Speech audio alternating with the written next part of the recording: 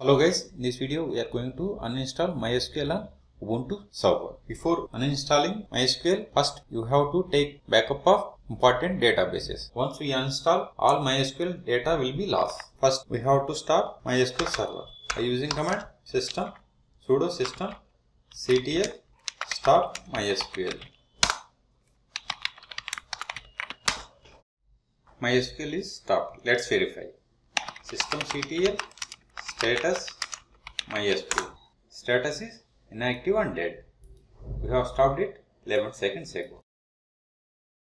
Now we are going to remove all packages related to MySQL by using this command. I am going to keep all these commands in the video description.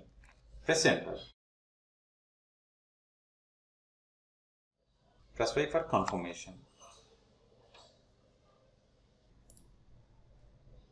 Clear screen.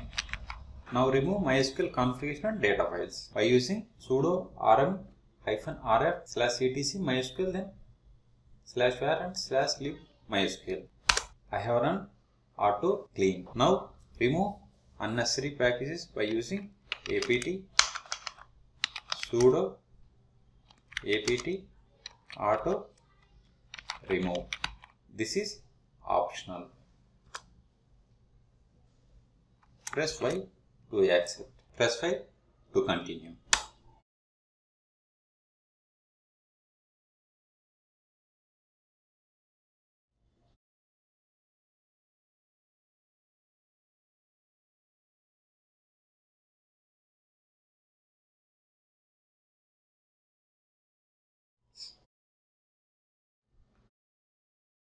We have successfully uninstalled MySQL on Ubuntu. Let's try to start MySQL server. Sudo system ctl start mysql. It is saying fail to start mysql service. Also verify the status. Init mysql.service could not be found which means we have successfully uninstalled mysql on ubuntu machine. For more mysql videos please subscribe my channel. Thank you